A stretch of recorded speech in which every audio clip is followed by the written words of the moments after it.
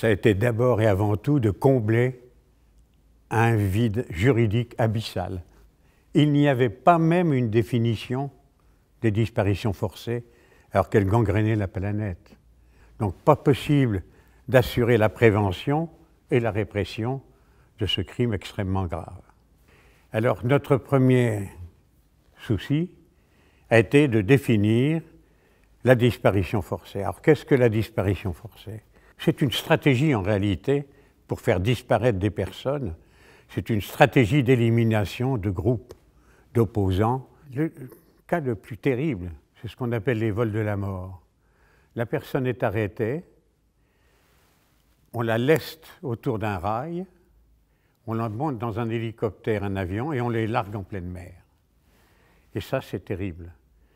Parce que pour retrouver les corps, on arrive trop tard, car la lutte contre les disparitions, c'est d'abord et avant tout une lutte contre le temps qui passe. Une révolution dans la lutte contre les disparitions, ça a été l'apparition et le développement maintenant de la police scientifique, de l'anthropologie légale avec les ADN. Je citerai un exemple récent d'un collègue chilien. Il a été saisi du dossier des vols de la mort. Il a désigné des plongeurs de fond qui ont finalement par découvrir, sur un site qu'il avait identifié par des témoignages, un rail. Il n'y avait plus de squelette, mais il y avait encore un lien et des lambeaux de tissu. Eh bien, grâce à cela et grâce à l'ADN, ils ont identifié quelle avait été la personne disparue. Lorsque l'auteur du crime est mort, en droit, on ne peut plus poursuivre, il y a une caducité des poursuivre. Et cela, euh, c'est évident dramatique pour les familles. Elles euh, agissent beaucoup pour que les enquêtes continuent, pour qu'elles puissent se recueillir sur une tombe. Par exemple, à Dili, au Timor, il y a un cimetière artificiel où chaque famille a mis une pierre pour représenter une tombe où elle vient se recueillir. Les États violateurs ont presque toujours un souci, et un seul souci, tourner la page. Nous n'avons pas pu, dans un premier temps, déclarer dans la Convention le crime de disparition imprescriptible. Et après d'intenses négociations, un peu complexes, nous avons réussi à convaincre que dès lors que c'était systématique et généralisé, ça devenait un crime contre l'humanité. C'était important car un crime contre l'humanité, lui, est imprescriptible. Une fois ce comble, comblé ce vide juridique, il y a eu toute une série d'avancées. Euh, on a pu obtenir et astreindre les États à incorporer dans leur droit pénal le crime pour qu'ils le répriment eux-mêmes. Et puis nous avons réussi à le faire prendre en considération par le droit international qu'il ignorait.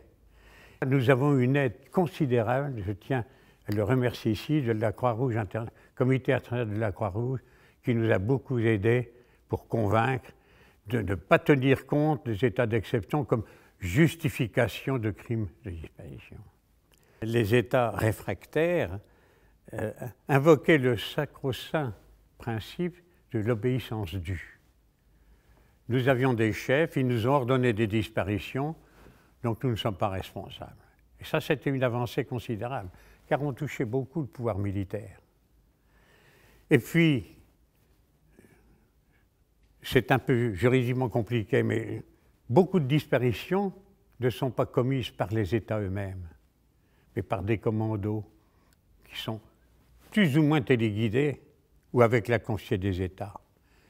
Et dans la Convention, il est désormais prévu que les États ne peuvent pas se dispenser de poursuivre ces personnes, même si elles ne sont pas directement dépendantes de leur autorité. Et puis, nous avons finalement créé un comité d'experts indépendants sur les disparitions forcées il a pour mandat de veiller au respect des dispositions, des stipulations de la Convention et surtout de leur bonne interprétation.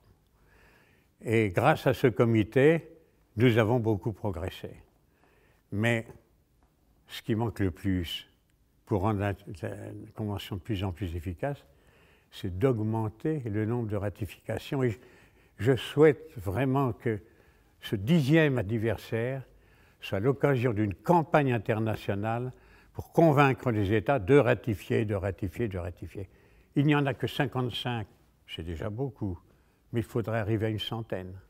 Mon meilleur souvenir, évidemment, c'est à la fin, la consécration de la Convention. Il y a eu une tension terrible.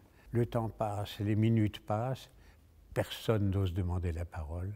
Et finalement, d'un coup de maillet vigoureux, le président euh, Kessedjian consacre l'adoption de la Convention. Et là, une, déléguée qui commence à avoir des larmes d'émotion, elle avait joué un rôle très important dans la négociation. Et c'est la première fois que, en 37 ans de nuit, je voyais un État pleurer. La représentante des grands-mères de la place de mai a pris la parole. C'était un moment historique. Et je dois dire que le soir même, euh, j'ai moi-même composé un petit poème. J'aimerais le partager avec vous pour un moment d'émotion en leur mémoire. Étais-je de Cordoba, de Dili, de Jakarta, d'Erevan ou Bogota, je m'appelais, je m'appelle Norma. J'étais, je ne suis plus, je ne sais pas, je ne sais plus. Disparu, enlevé, victime d'un crime presque parfait de lèse-humanité. Je ne suis plus qu'une image, une ombre imprescriptible, lasse du temps qui passe. Disparu dans les cieux d'un vol de la mort, demeuré mystérieux, compagne de la diaspora, de ces visages oubliés, invisibles parmi vous, mais présente à vos côtés.